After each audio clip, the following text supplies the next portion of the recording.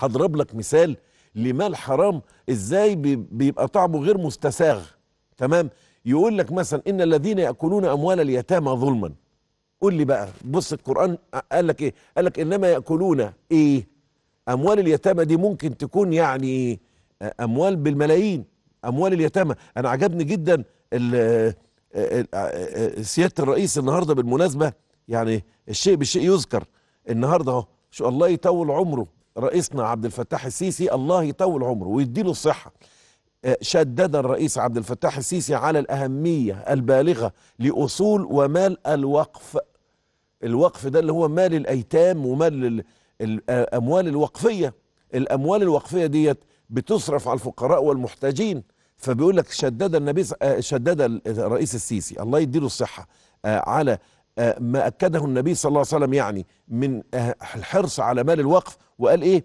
أنها تستوجب ليس فقط الحفاظ عليها ولكن حسن إدارتها وتنميتها.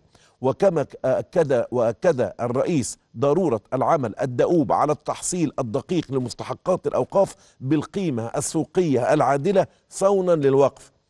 طبعا الكلام ده قاله في اجتماعه مع الوزير الهمام الأستاذ الدكتور مختار جمعة وزير الأوقاف.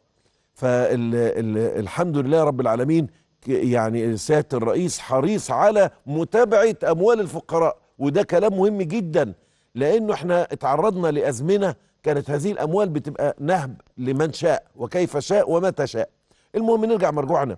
فالمال اليتيم ده طعمه إيه يا ترى؟ القرآن قال لك طعمه إيه؟ يلا قول لنا يا رب طعمه إيه؟ قال إن الذين يأكلون أموال اليتامى ظلما إنما يأكلون في بطونهم نارا. شفت؟ وسيصلون سعيرا. وما اكتفاش بكده. ده القرآن برضو قال لك طعم فلوس تانية ذكرها في القرآن. وقال لك إن الفلوس دي اللي هياكلها هتقطع في المريء بتاعه. الكلام ده القرآن قاله؟ أي والله العظيم هتشوفها بنفسك. لا جبنا لك كلام من هنا ولا من لا ده من القرآن هتشوف.